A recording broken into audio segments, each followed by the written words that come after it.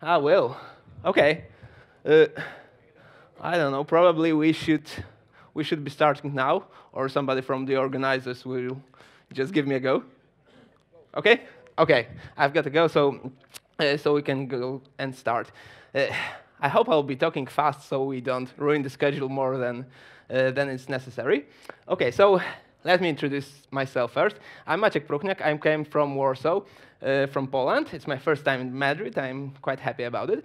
And I work uh, for almost 10 years at not so small software house called TouK. Uh, we're working for different different platforms from content delivery networks through various enterprise-grade systems to installing some Hadoop clusters, doing stream processing, and so on. But my, our main focus is on integration in, in large enterprises. And one of our largest customers are based in the telecommunication sector. We're working for I would say half of the largest uh, Polish mobile operators. So they are not as big as Telefonica, as I've heard many times at this conference, because they are based mostly in Poland, but still they have quite a lot interesting data to process, right? So let's let us remind us uh, what are the data that the mobile operators are processing in kind of real-time streaming way, because this is what we are going to talk about. So the first of them necessarily, uh, are various events connected to you making calls, calls, sending SMSs, and so on, like content delivery records. And then various billing events. Will they charge you for that call or not? And also, because everybody now is online, various data on network usage. Did you go to Booking.com or Google stuff or, or whatever? And also a lot of lot of localization data from a mobile phone, either from GPS or for kind of more mm, network connected uh, stuff, how, how close you are to base transmitter station and so on. So as I've said, uh, our customers are not as large as Vodafone or tele Telefonica, but still they have quite a large of amounts of data in, in terms of calls. In Poland, it's like three to 5,000 per sec and peaks. And when it comes to network usage and localization, then the situation is a little bit kind of complicated because you can measure uh, localization data in various ways. Either it's active or passive and so on. And if you track uh, track uh, your, your customer's localization big with biggest granularity, you can easily end up with like, like 100,000 events per sec. So what we are using this data for? Well, I'm going to talk about two main use cases. One is fraud detection. There are many, many interesting ways that fraudsters tend to, to use telcos for. One is frauds on premise, premium usages, another is spamming people with SMSs, and also some more elaborate stuff like, for example, cloning SIM cards or SIM box termination fraud. I won't go into the details because I don't, even frankly speaking, I don't understand how all of those frauds works. But still, we want to detect them very quickly. We want to compute, for example, aggregates how many SMSs to unique, uh, unique our numbers you've set uh, in, in last hour. If it's like 3,000, then probably something is going on. And also, where have you been during your last location and last but one location? Because in like, if you like in five seconds you've moved from, I don't know, to Madrid to Bilbao, then probably, again, you're up to something. It's just not possible. And then, if you detect that you are probably fraudster, we want to probably to block your account as fast as possible, maybe send you an alert beforehand so, so you can react. But the most important thing is that we want to react very quickly. And another important mm, kind of area or use case is, is marketing, right? We want to find an interesting event. For example, you're running low on your balance, or you are approaching our point of sales and we want to offer you a brand new Mac with a coffee. We have to check that you are the customers that we want to interact with. For example, you're not some kind of low income prepaid customer, but real postpaid one that we want to offer something nice. And again, we have to react very quickly, quickly in runtime, uh, in real time, because if you just move past our point of sales, then probably it's no use sending this SMS like in a few hours. Okay? So on this conference, you hear a lot about artificial intelligence, mm, machine learning algorithms, and so on. but for many cases, at least at our customers, for them, it's kind of enough in the first place uh, to be able to filter the events, to enrich them in context, probably also score them with, some with some machine learning models.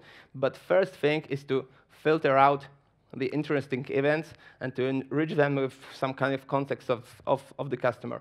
And with fraud detection, of course, it's also very important to be able to compute in real time some kind of Windows aggregates, how much bandwidth are you using, how many calls are you, are you making.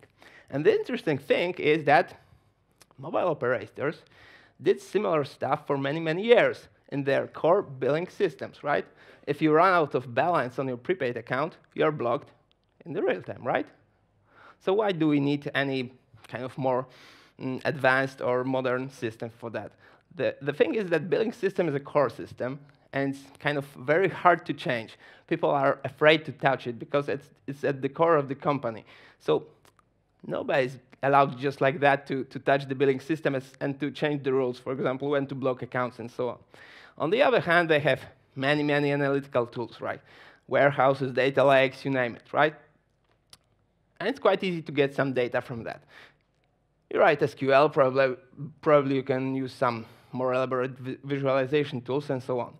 And they are easy to use. But on the other hand, the data flows to, to, to those places, not in real time, and they tend to have kind of low SLAs. So they, they are not necessarily fit for kind of, I would say, production use. By production, I mean sending real SMSs, blocking real client accounts. So the thing that we want to do is to be as fast as the billing system, to, to be in real time and have really good SLAs. But on the other hand, we want the users to be able to interact with it as easily as, as they do with any kind of analytical systems, right? So, so, so this is kind of a challenge, and how do we approach it?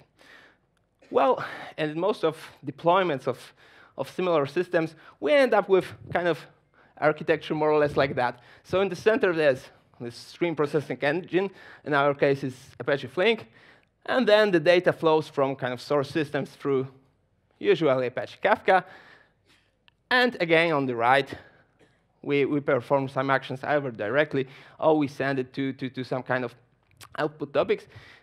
And probably you have some fast real-time mm, client profile to, to enrich to enrich events with, uh, with some kind of more static data. And at the above, we have something that's our own that I'm going to talk about, right? So this is kind of nothing special. Probably many of you have seen such architecture.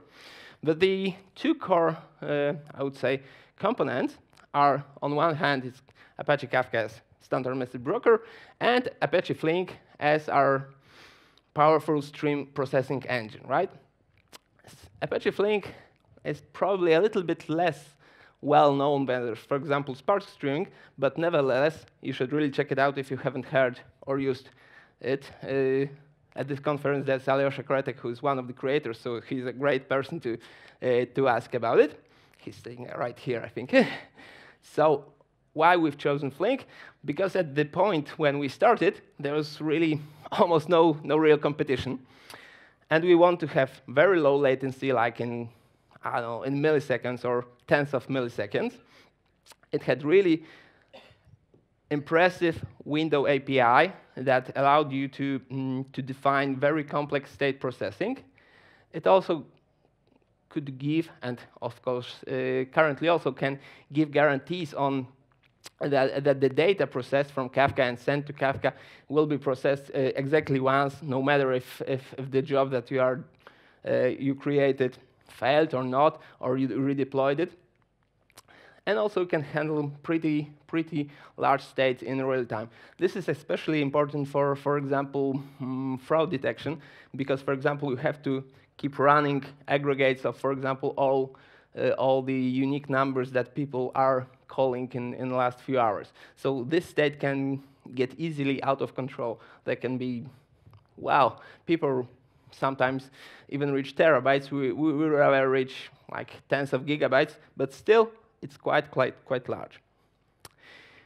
So Flink is great, but as you look as, at all those points, you can see that they are mainly about operational excellence and the APIs for the developers to, to work with, right? I don't know if this appeals to, for example, your business users or stakeholders. Of course, if you, if you tell them what that means, then it's okay. But how do you actually use, let, let, let user design their fraud detection rules and so on? So now we'll talk a bit about how to create Flink jobs. Because like Spark or, or similar frameworks, Flink comes with really nice Scala DSL and lets you write a kind of concise and self-explaining uh, self-explaining definitions of jobs. But of course, it's self-explaining de for developers. And for poor business analysts who are used to, I don't know, in our case, many times to Excel and SQL, probably not so much. Probably they won't necessarily understand what is this underscore be mm, before customer and so on. And the situation is even harder in our case because we are not part of the, Eh, of the mobile operator. We are independent software vendor. And at, at our customers, they have their own silos, right? They have business people, analysts, IT teams, and heaven forbid, ops. And there are boundaries between each of these kind of departments, but you can tier all those boundaries, but you cannot tier this one. We are a separate entity, and it's always better for our customers to design rules themselves than go to us, prepare a change request, put it into Jira, and wait when we have time, right? So we want to let users, or at least analysts, define the business rules. And this is kind of our history. Uh, like more than two and a half years ago, we started a proof of concept of such solution with Flink. We achieved, of course, great results. But then, of course, all the processes were hand-coded, right? Uh, hard-coded. And then our client approached us and said, OK, and if you want to, to write new processes, what would we do or change it? Well, you'll have configurations and you can change it.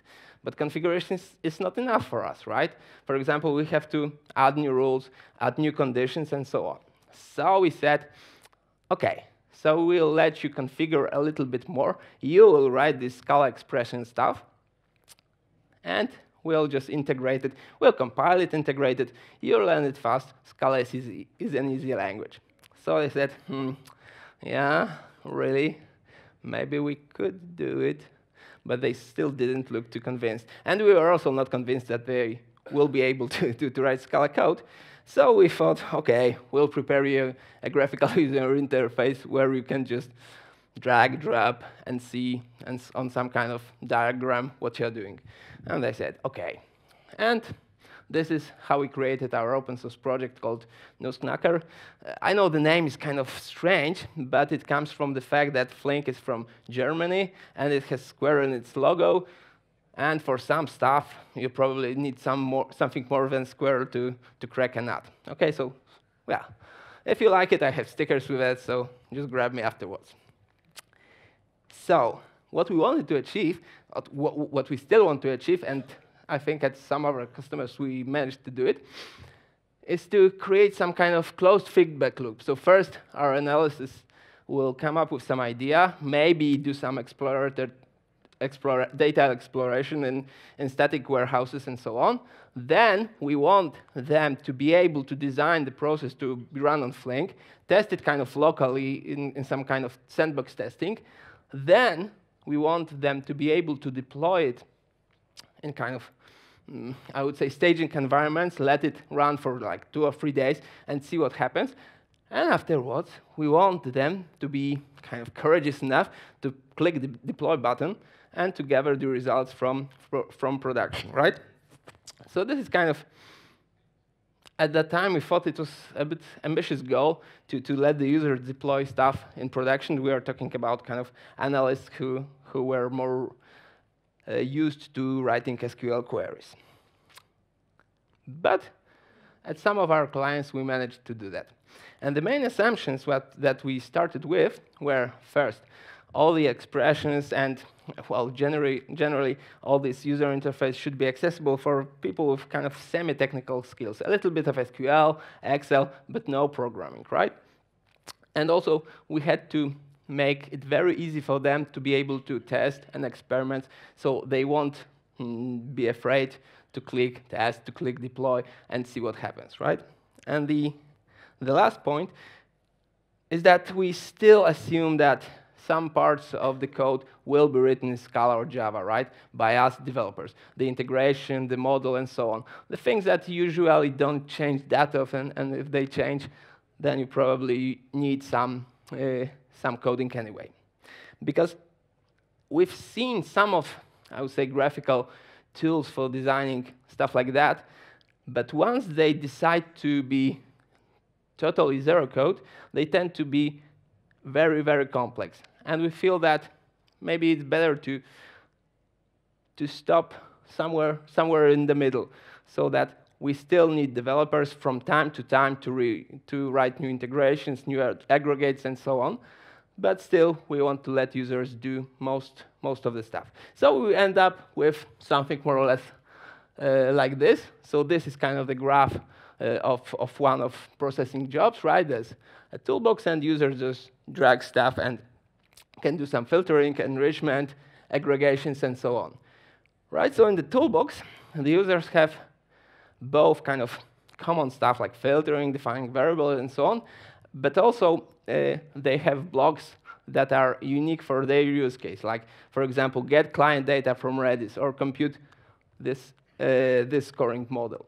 And these are developed beforehand, right? And once the user just drags and drop this stuff, they have to configure the filter, write some expression, and so on. So after a while, we uh, thought that we'll use something called Spring Expression Language. For those of you who are Java-based, they probably know that it's simple expression language used for configuration files. And we are quite amazed to find out that it can perform very, uh, very well.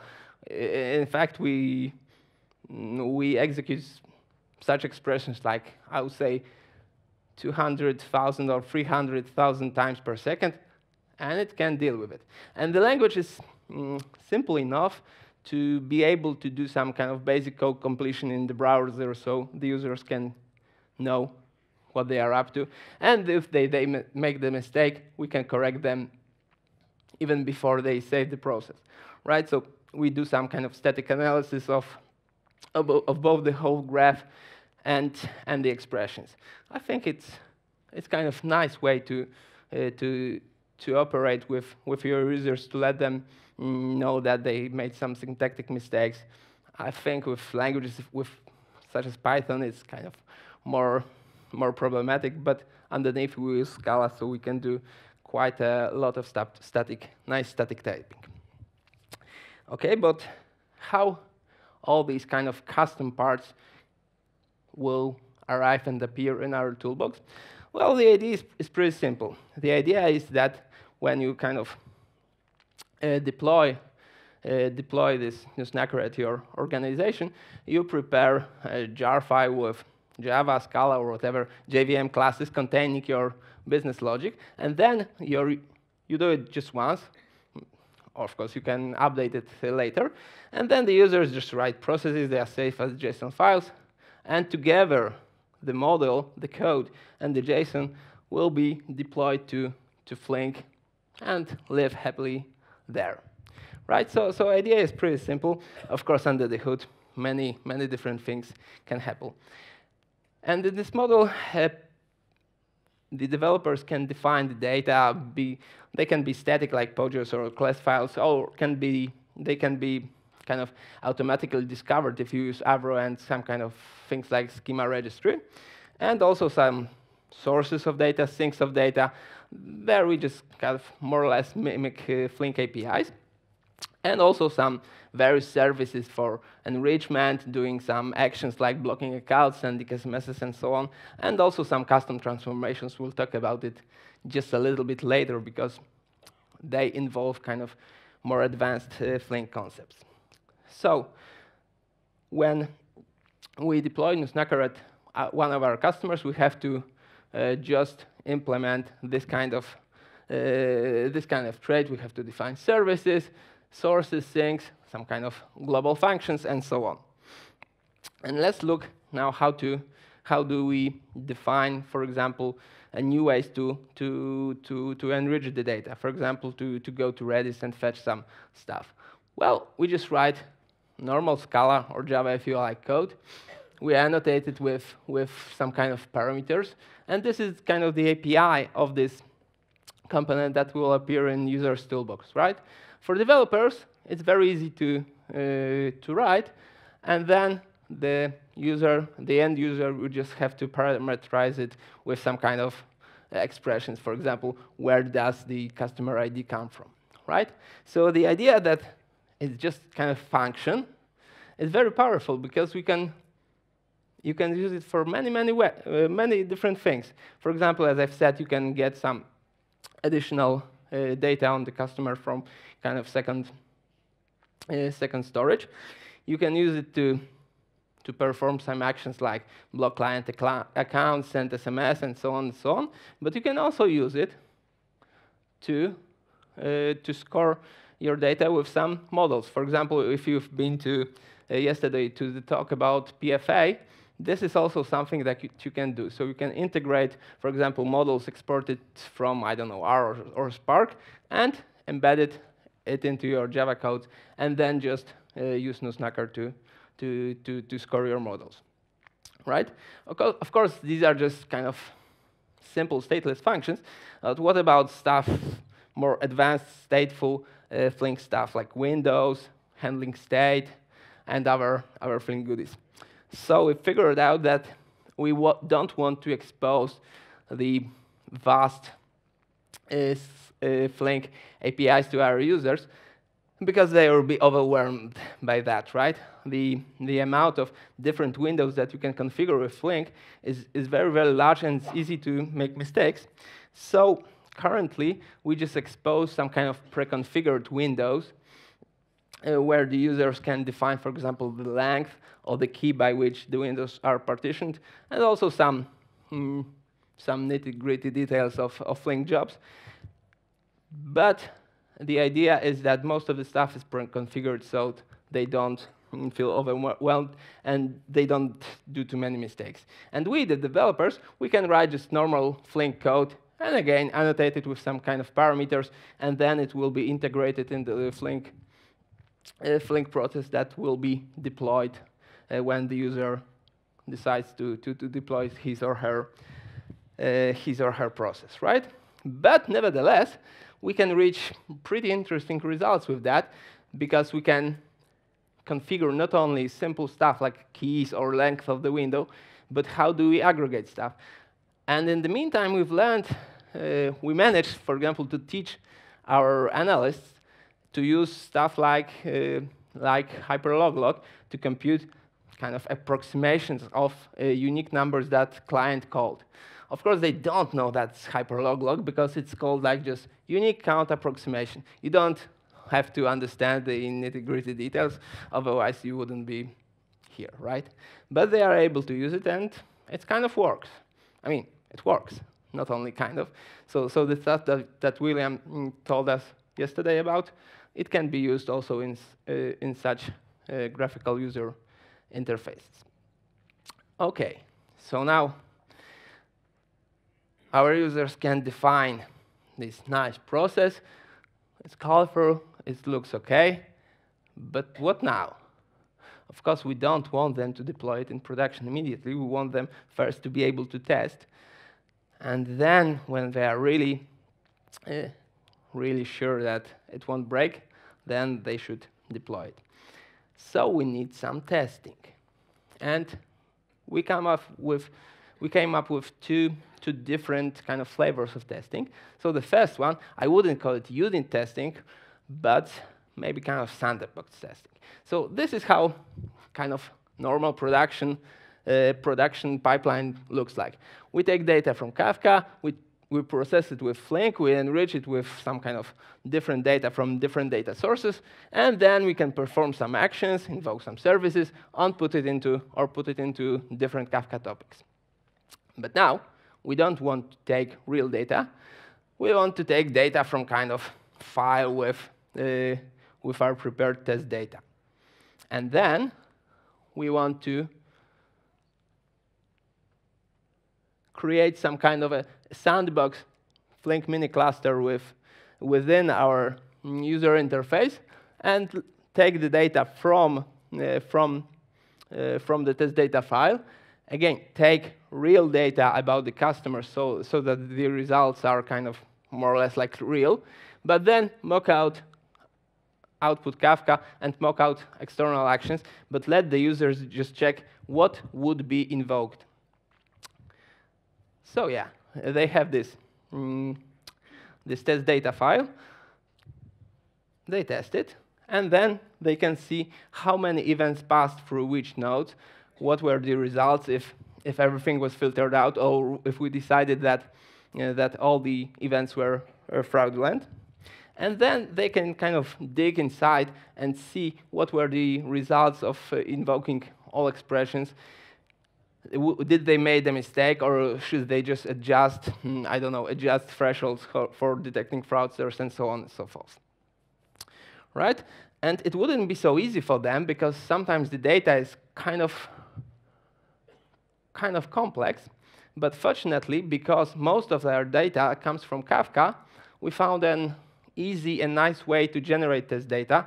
That is, we just take, I don't know, 10 or 10, 10 or 100 of latest events from particular Kafka topic.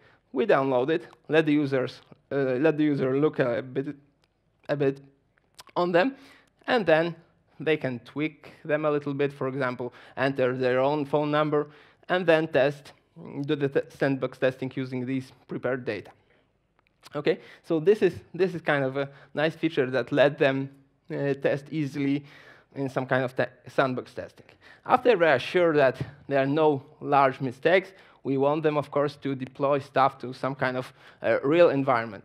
And again, mm, thanks to the nature of Flink, Kafka, Redis, and so on, especially with the nature of Kafka, we can do uh, a simple step that allow us uh, to to do some kind of more like user acceptance or integration testing.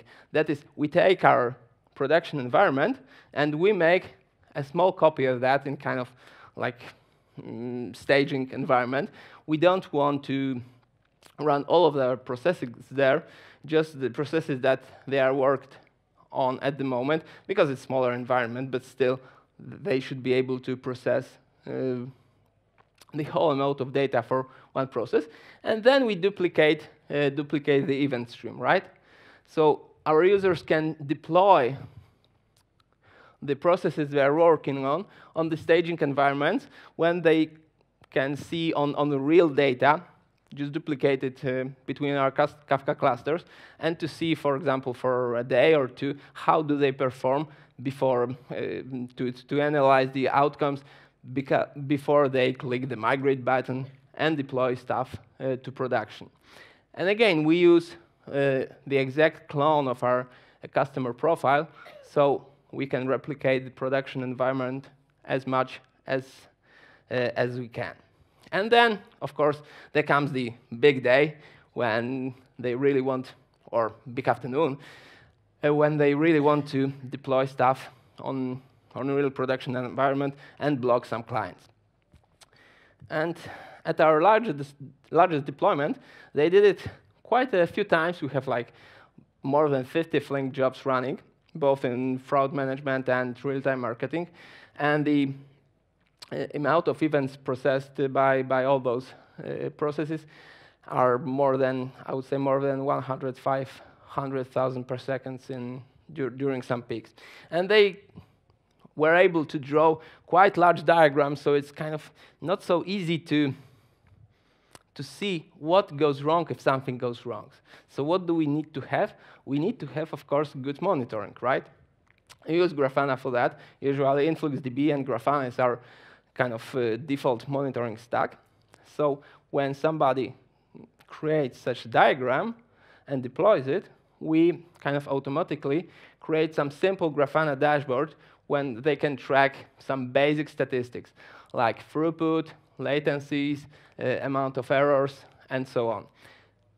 And for many, uh, for many mm, errors, this is kind of enough. Of course, for kind of more detailed analysis, uh, they need to have uh, all those data put to, to, I don't know, some kind of Elasticsearch or, or whatever cluster, more advanced tools so that they can look at, at the particular events and analyze if they were handled correctly. But for kind of first monitoring, these simple, mm, simple Grafana dashboards are enough. For example, this is this is a case from the last month at one of our deployments. This is the minute that uh, one of our users deployed uh, a version of a diagram that couldn't handle the load because it tried to, to, to invoke some kind of expensive web service to, to get some data. And he could see more or less immediately. Of course, he didn't go to the metrics webpage, but still, he could see that the performance uh, dropped dramatically. And after he corrected his mistake because he just created some additional filter and so on, so it was kind of simple fix, we can see that performance is okay again, right? So some simple metrics like counts and latencies can, can help really, really a lot uh, to, to detect some kind of bigger errors. Okay, now we still have a little bit of time, so I'll try to show you how it works. I will try to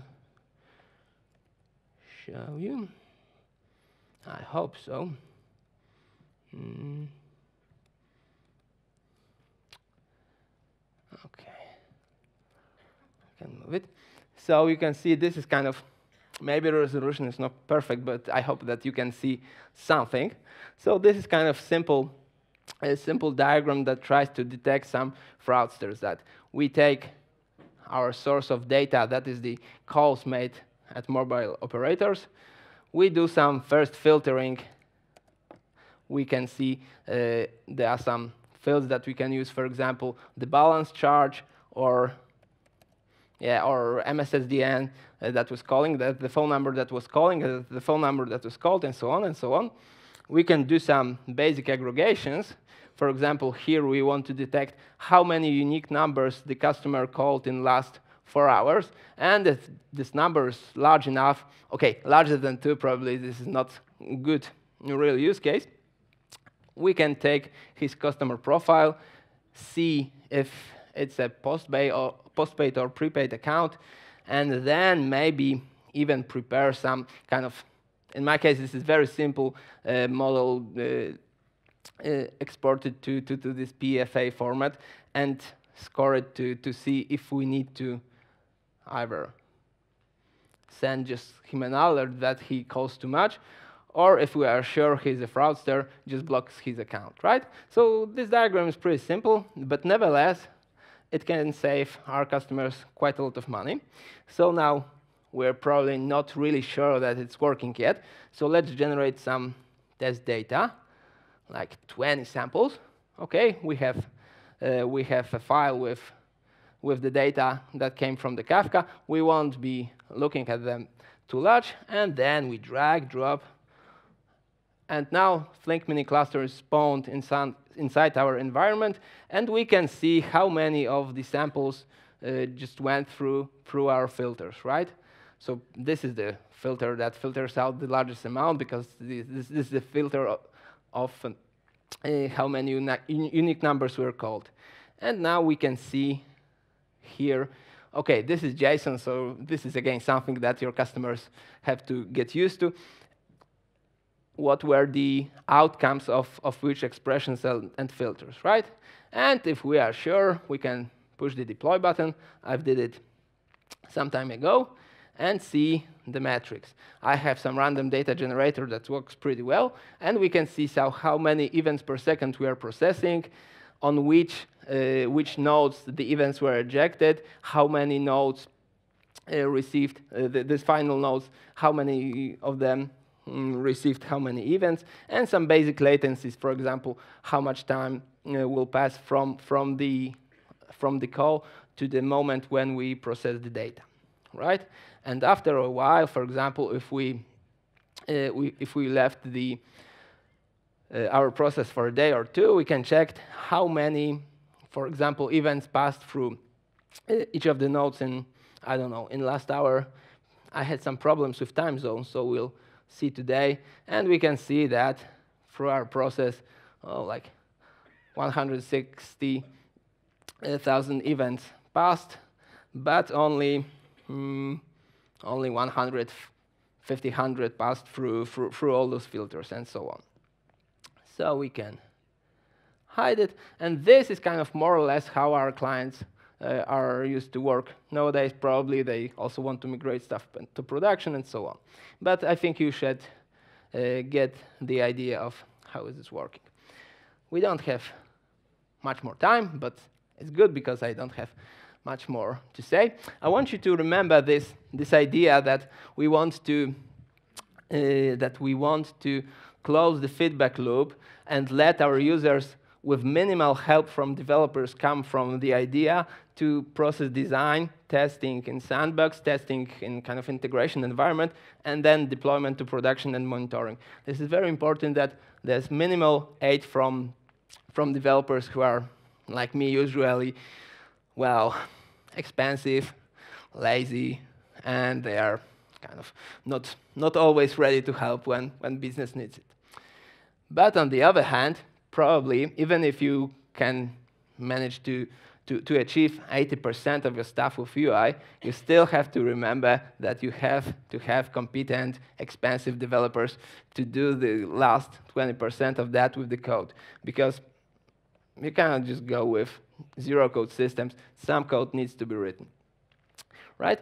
And I think solutions such as ours can be used mainly in kind of on the middle ground between uh, between cases when you want to do some kind of ad hoc analysis, data exploration, visualization, and between places when you have to be real sure that your processes are working correctly, when you probably want to have uh, real kind of coding practices like reviews, continuous integration, deployment.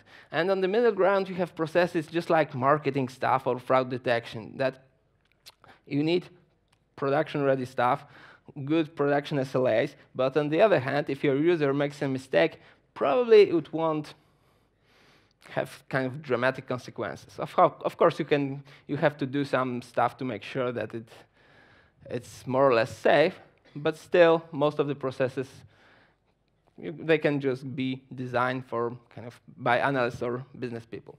And if you want to learn something more about uh, how we do it and and whereas it is on the GitHub and this RFID code should point you to some kind of case studies. I don't have much experience with RFID code, so I don't know if it works, but hopefully it does. We still have, I think, almost two minutes for questions. So thank you very much for coming and listening to me, and enjoy the rest of the conference. Hmm.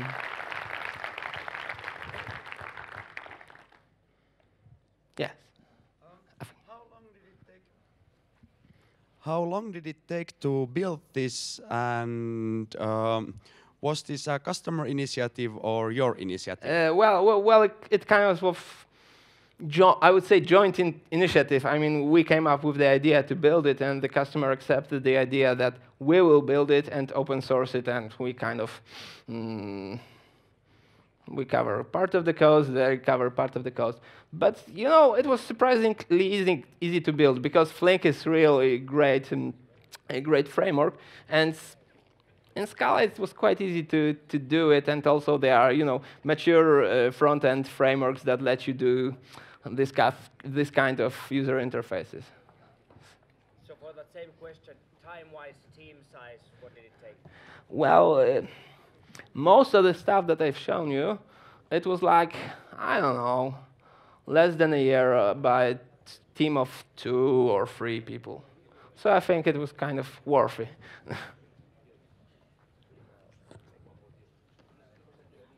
okay. Thank you very much. I'll be around if you, if you have any more questions.